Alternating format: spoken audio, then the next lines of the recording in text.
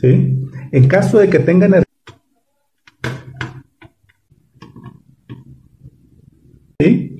para lámparas y para tomar corriente.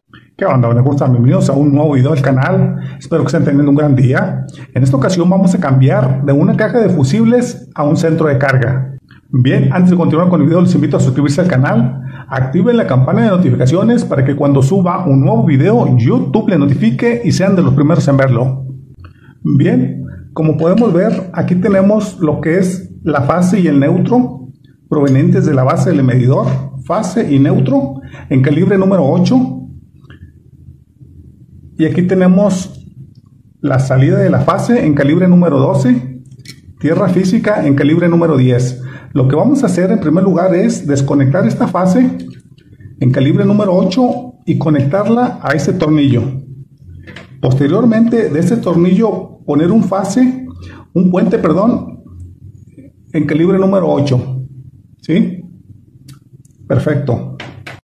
Bien, voy a quitar estos interruptores termomagnéticos para tener un mejor este, espacio.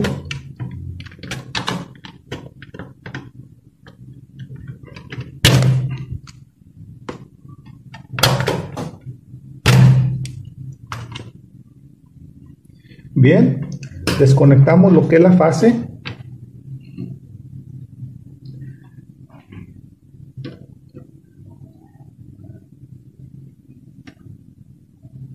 Aquí previamente ya desconectamos la energía del medidor.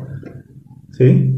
En caso de que tenga energía el cable de la corriente, hay, hay que utilizar unos guantes de seguridad de cuero. Bien, en este caso este, ya corté la energía. Y voy a conectar lo que es este la fase.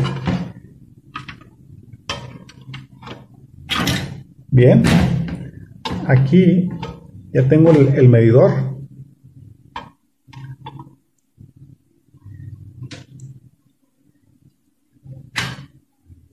Y voy a proceder a conectar lo que es la fase. Al mismo tiempo voy a poner un puente, calibre número 8. Bien.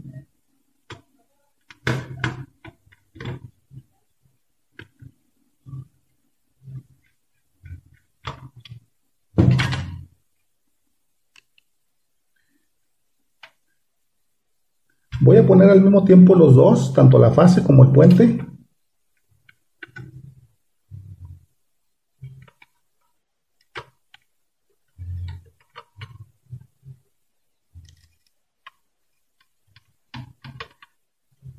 Bien.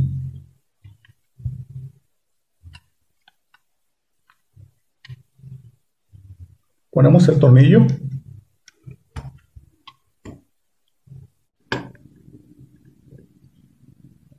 Bien, una vez que ya conectamos la fase, el puente, conectamos el otro tornillo. Bien, lo quitamos, quitamos el tornillo.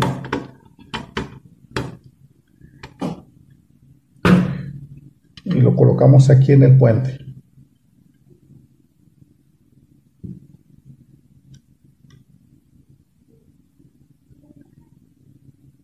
Bien, lo atornillamos.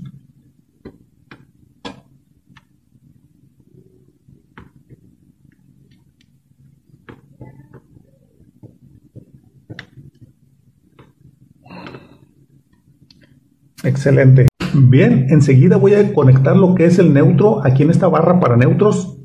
Esta barra también se puede utilizar para tierra física. En este caso la voy a utilizar para conectar el neutro.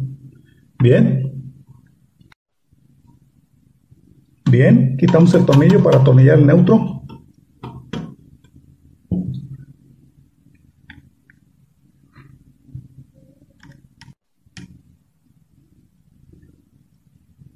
Bien, lo atornillamos.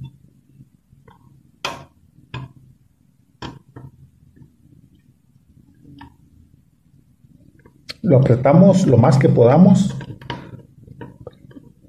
para eliminar cualquier tipo de, de falso contacto. Bien, una vez que ya apretamos el neutro, enseguida Vamos a conectar dos neutros en este tornillo. Va a ser uno para cada circuito. Bien. Conectamos dos neutros en calibre número 12.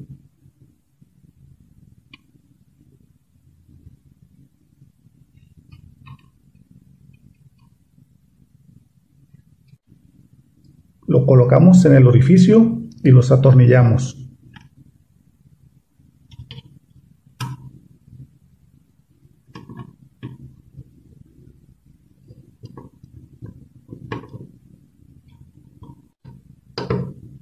Bien, una vez que ya apretamos los dos neutros, enseguida vamos a conectar lo que es nuestro primer circuito.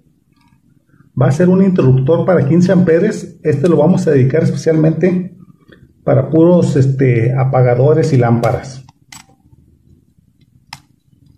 Bien. Colocamos en este tornillo la salida de la fase.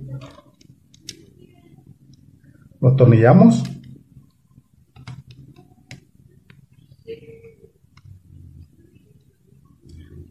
y montamos la pastilla.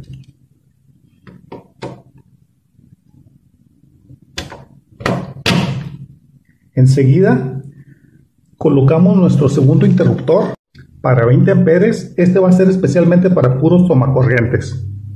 Bien, colocamos la segunda fase. ¿Sí? Lo colocamos aquí en el tornillo. Bien. y procedemos a apretarlo.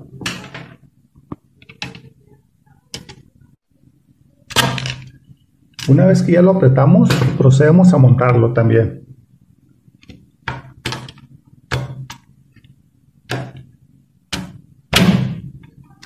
Excelente. Bien, una vez que ya tenemos los dos circuitos, ¿sí? Para lámparas y para tomacorrientes, Enseguida también nos hace falta lo que es tierra física. Bien, quitamos el cable para tierra física que viene de la varilla.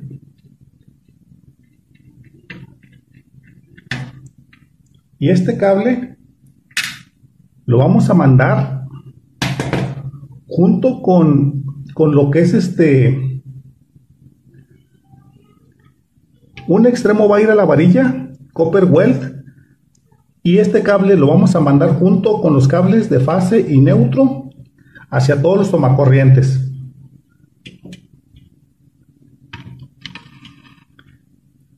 Este, este conjunto va a ir este, lo que es este, para puros tomacorrientes y también va a ir la, este, el cable para tierra física. Este va a ir a cada uno de los tomacorrientes.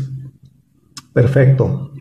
Bien amigos, así quedaría nuestro centro de carga para dos circuitos.